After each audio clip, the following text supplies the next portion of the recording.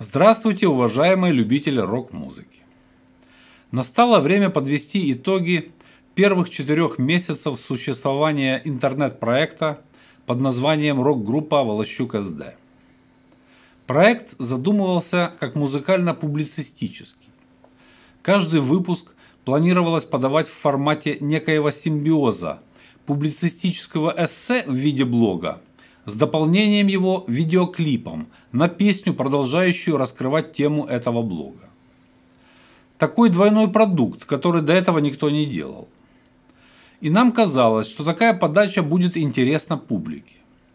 При этом мы решили свои блоги привязать к различным историческим событиям и знаменательным датам, а соответственно и песни сочинять в продолжении темы блога. То есть применить музыкально-исторический подход – который, конечно же, требовал большой и напряженной работы при графике выхода блогов не менее одного раза в неделю. Необходимо было выбрать знаменательное событие, интересно и неординарно его осветить, сочинить песню, все это сыграть, спеть, рассказать, снять, сделать видеоклип и видеоблог, а затем разместить все это в интернете.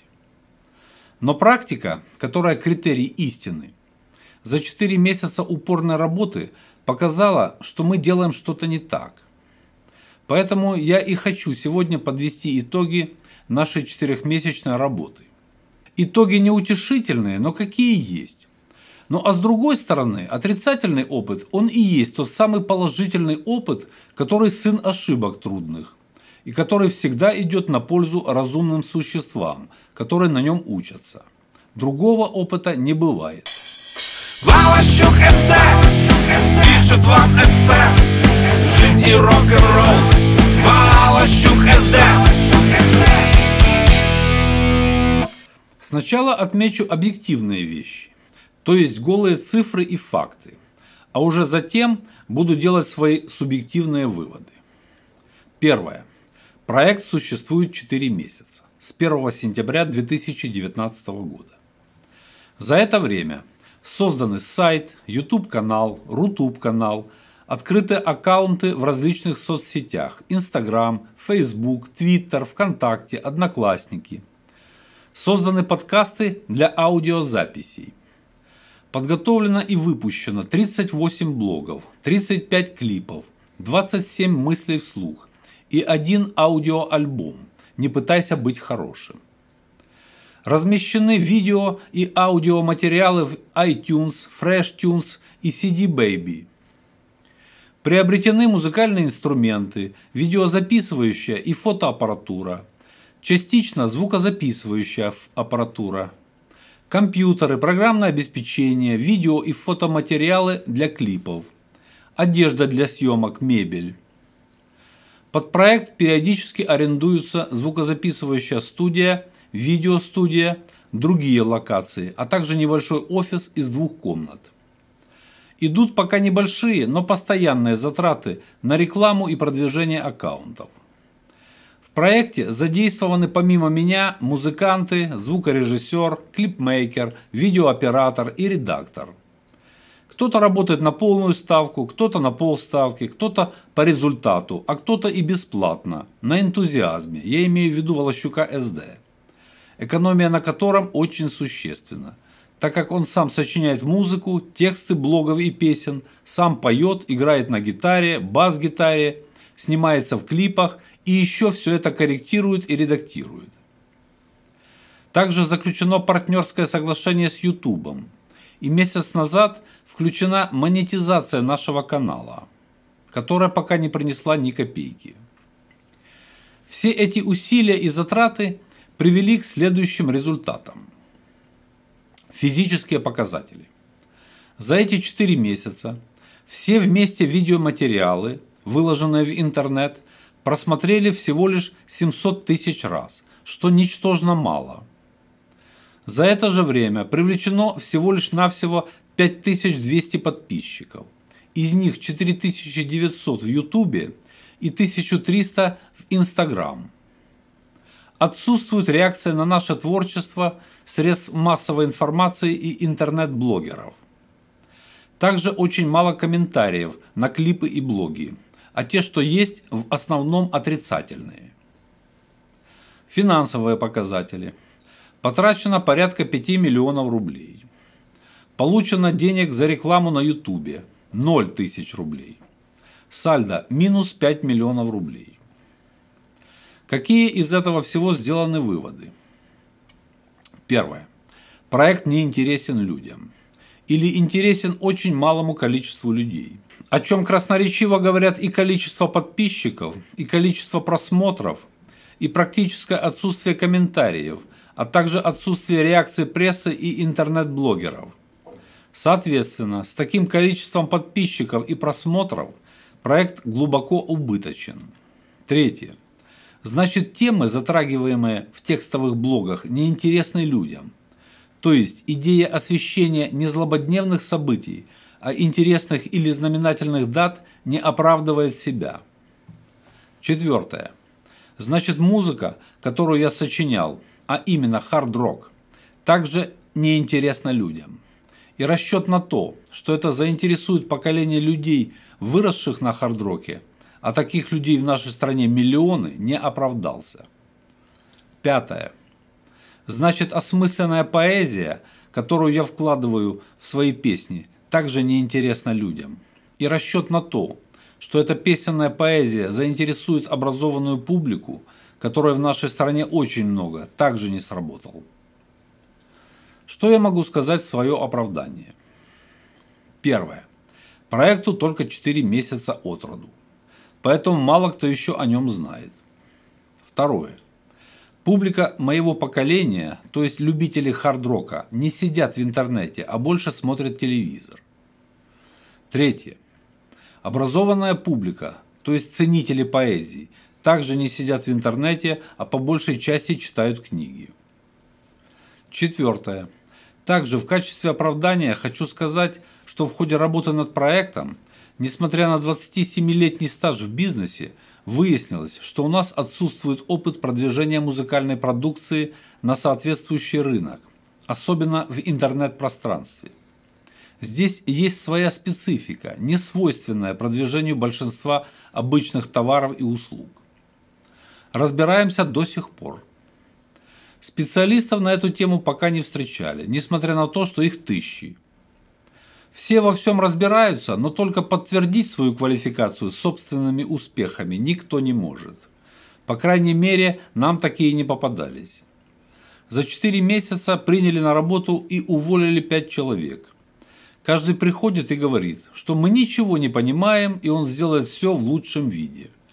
При этом сильно критикует своего предшественника, который, по мнению нового сотрудника, был полным профаном и ничего не понимал в жизни. Затем выясняется, что и этот человек тоже ничего не понимает и ничего не умеет, кроме декларирования красивых речей.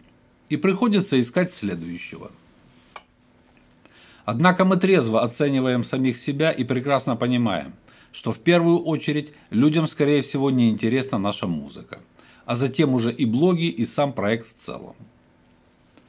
Какие нами приняты конструктивные решения? Первое. Продолжить финансирование и работу над проектом в течение всего 2020 года.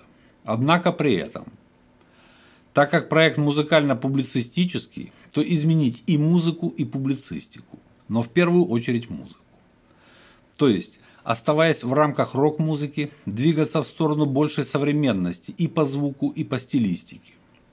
Хард-рок, даже с очень хорошим звуком и аранжировками, все-таки музыка прошедшей эпохи. Во вторую очередь, заузить тематику блогов, свести их к освещению в основном музыкальных событий, то есть перейти к комментированию различных музыкальных концертов, а песни на обозрение публики выставлять те, которые сочинены в данный момент, в порядке живой очереди, вне зависимости от тематики блогов. Двигаться в таком направлении подсказывает нам и количество просмотров различных наших выпусков, которое говорит о том, что именно такая тематика больше всего интересует нашу целевую аудиторию, а именно любителей рок-музыки.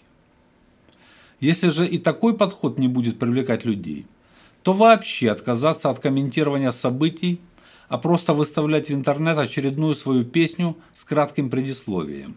Это намного дешевле и существенно менее трудозатратно. Далее, необходимо уточнить контуры своей целевой аудитории и скорректировать пути и способы донесения информации именно до нее. Необходимо осовременивать и актуализировать упаковку своего контента, то есть форму подачи информации и музыки. И необходимо оперативно проводить корректировку своих действий по мере появления новой информации и изменения собственных представлений о реальной музыкальной действительности. Вот такие вот итоги, выводы и решения. Но я не сказал вам о самом главном, что было проделано за это время. А за это время была проведена большая аналитическая и теоретическая работа по осмыслению стиля рок-музыки. Изучена литература по музыкальной стилистике, музыкальной ритмике и по особенностям стихосложения на различных языках. Было посещено множество концертов – различных рок-музыкантов и прослушаны тысячи треков. Было проведено большое количество экспериментов со звуком, стилем и музыкальной ритмикой, как вокальной, так и инструментальной. Сочинены десятки песен в различной рок-стилистике и в различных жанрах – блюз, рок-н-ролл, хард-рок, регги, рэп. Проведено большое количество поэтических опытов написания стихов с различной ритмикой и рифмикой. И как результат – Выработано понимание самого понятия рок-музыки, блок по определению которого я завершу и представлю в начале следующего года. И самое главное, ради чего проводилась вся эта теоретическая работа и проводились практические опыты. Выработано понимание современно звучащей рок-музыки и, соответственно, выработан собственный и, на наш взгляд, актуальный и современный музыкальный стиль который мы начали с представления песни «Окружают нас речи, окружают слова», и продолжим представлять сегодня другой своей песней «Она хотела казаться». Этот стиль для себя мы назвали «Новый тяжелый рок». Буду ждать ваших оценок. И самый главный для меня итог 2019 года. Я наконец-то занимаюсь тем, чем я должен был заниматься всю свою жизнь. Я верю в свою музыку и поэзию и знаю, что она найдет своего слушателя. В самое ближайшее время она станет очень популярной. Вот на этой оптимистичной ноте я и хочу закончить свой сегодняшний блог. Поздравляю всех с наступающим Новым Годом и желаю, чтобы в Новом году вы верили в свое дело так же, как Волощук СД. И пусть у вас все будет хорошо. До свидания, друзья. Thank you.